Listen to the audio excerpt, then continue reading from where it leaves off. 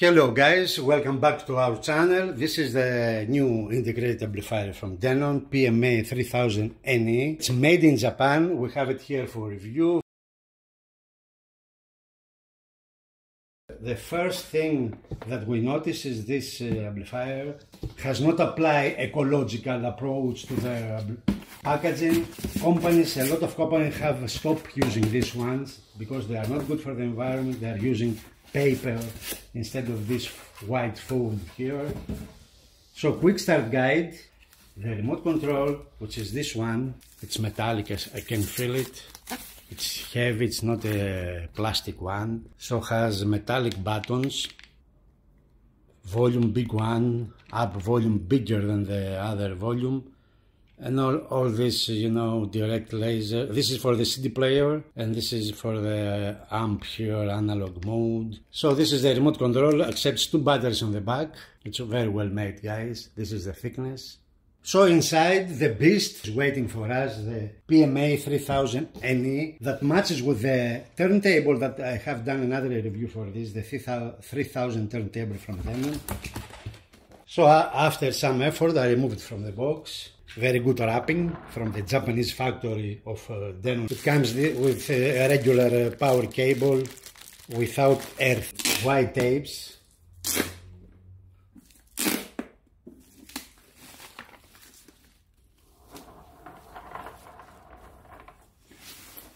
Wow. Wow, this is it guys. This is the PMA brand new PMA 3000 NE so in front we can see the knobs, big volume control, huge one, balance, tremble, bass, analog mode, source direct, phono stage MM or MC. There is an OLED here display with a very sharp characters, input selector on this side. Let's have a panoramic, let's say wide view from all the aspects, all the corners and sides of the amplifier. This is the back side. As we can see here, made in Japan here, guys. It's made in Japan. Four terminals uh, for speakers per side, so we can have A or B pairs. The digital section of the amplifier, we have USB DAC here, coaxial, three optical, one with TV, says here, has no HDMI, okay, I wish. Three optical uh, inputs, one coaxial, one USB DAC to connect an external streamer or laptop. This terminal here is for the turntable, the earth, the grounding, signal grounding, pre-out, CD, network, uh, recorder, recorder here, uh, audio out and phono inputs. Phono inputs here we see it comes with these uh, caps to reduce the noise if we don't need uh, this uh, some of these outputs. So we have two pairs of these black caps. The amp has the digital section in different uh, compartment and the analog inputs and outputs in different side. So very far for no differences between them. Front face thick aluminum everywhere. Look the knob here. Variable gain volume control. Here we have a phono output which is a, an independent uh, section inside the amplifier. As we said the cable has no earth. And now we will switch on the amplifier for the first time. The key thing here is the display. So we, we can see here some indications. It's an OLED one display. CD, net auxiliary, analog input, recorder, external uh, preamp, coaxial input, optical 1, optical 2, optical 3, USB DAC, phono MM if we press the other button says phono MC. We have no menus so we have no indication about the, the volume. Look the beauty here. So th this is on the side.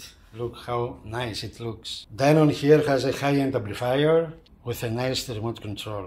Here we see some uh, parts of the inside of the amp. two transformer here, EI transformer, not a radial, but huge one, one per channel I think. Heat sinks here for the transistors. This uh, you, we see this uh, copper here for better conductivity with the heat sink. We see the two capacitors and we see how they're implemented with a lot of copper material around even the, even the screws are copper. Denon is using a lot of copper in this amp. We, we see the, the terminals of the channels here. You see copper, copper here on the this one. Everywhere is copper here. Even these connectors here are with copper. You see the capacitors, two of them. Probably they, ha they are having four uh, pin seats. So the brand of the capacitor is the Suscon. This, this one, I think it's from China. And uh, Denon is using it a lot lately, lately because the Nichicon and all these companies, they have stopped uh, producing audio capacitors. So Denon uh, find another source copper here the transformers they have copper uh, ribbon around. Everywhere copper guys. Even down there two copper screws. One channel per side stereo amp. You see how the face is curved in front extremely good components audiophile components is using few cables you can see around push pull circuit that's the topology of the amplifier it's a new design, differential one stage plus common emitter uh, circuit improves operation with any speakers by this way. So this is a single push-pull. Even the headphone amplifier is uh, totally separated from the rest of the amplifier. And instead of wires, here the amp is using copper uh, thick uh, material so underneath we see the amp, there are four feet like this, which are aluminum alloy, heat treated from aluminum alloy in order to provide stability and to reduce a lot the vibrations. So here we can see the transistors from one channel. They have uh, they have this this green material is a special um, gel, let's say, a special material for uh, better conductivity with the heat sink, but before they have this copper plate. So this is a MOSFET from Toshiba. So very nice installation, very high engineering guys. This is Japanese, what do you expect? The digital unit in exactly in the center, underneath in the center of the amplifier this is the digital, the DAC. And the king here is the Ultra AL32, this one, which is based on this uh, processor, Trion they say it, upscales the signal, the digital signal to a higher level, produce a better sound.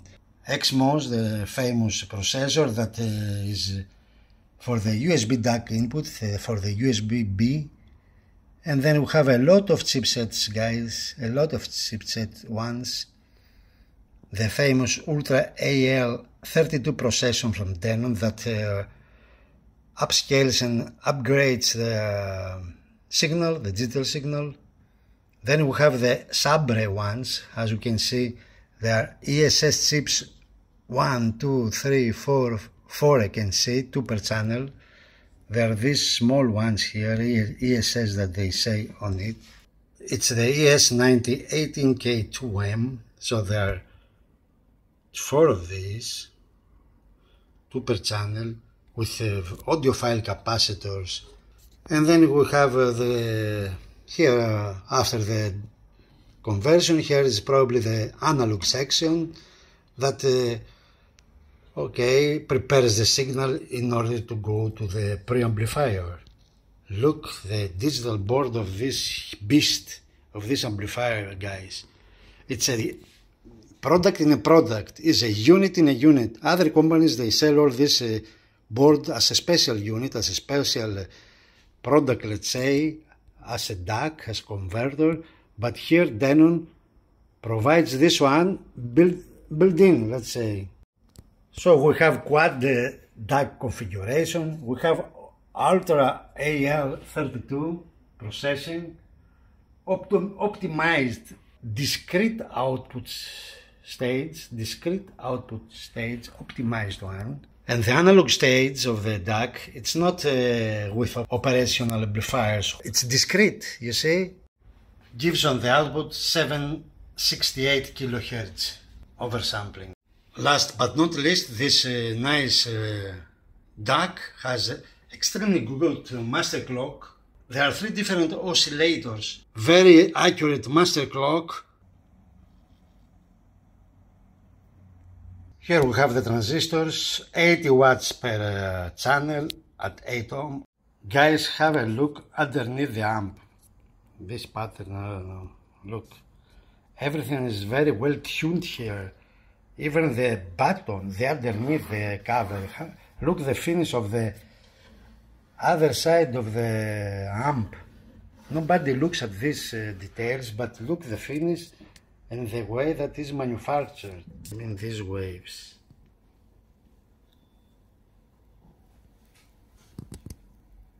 With a cover that provides extra isolation. Here we can see some measurements.